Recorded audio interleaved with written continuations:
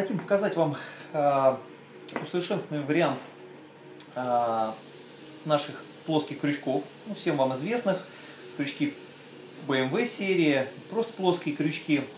Э, ну, основной их спектр применения это был, конечно, оконный проем, так как это было удобнее всего работать э, в оконном проеме, за счет того, что тело инструмента имеет условную закалку и можно его подгинать.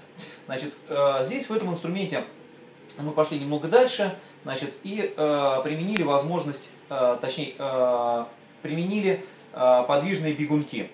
Ну, это уже всем известная, собственно говоря, конструкция. Вот, первым ее применил Сел Гантерос, вот, э, значит, в своем инструменте. Ну, сейчас многие ее применяют. Вот хорошо известный инструмент это Виталин, э, значит, э, Анаконда. Э, его многие используют, всем он полюбился, инструмент значит, достойный. Значит, э, значит, здесь, собственно говоря, отличие от всех э, других подобных инструментов заключается опять же в том, что тело этого инструмента имеет условную закалку, что позволяет подгинать его ситуативно и, соответственно, шире его использовать. Значит, в предыдущих крючках толщина прутка была 5 мм, здесь мы ее увеличили, сделали 6 мм пруток. Э, собственно говоря, инструмент стал более упругим. Также э, окончание имеет э, значит, резьбовую, резьбовое отверстие под использование насадок.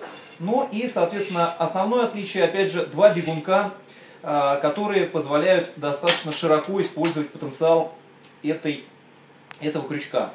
Значит, ну, за счет вот этих вот двух насадок мы имеем возможность работать внутри деталей, иметь возможность использовать инструмент шире, за счет таких распорных его э, значит, функций. Да?